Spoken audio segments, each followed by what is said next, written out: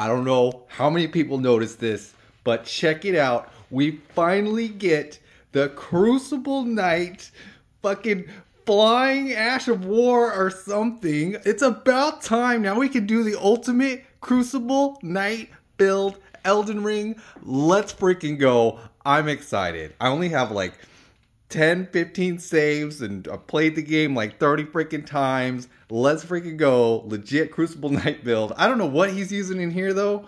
So it must not be an Ash of War, or it could be an Ash of War. Maybe there's like a new weapon or something, but like, dude, I don't know. I'm excited. Let's go.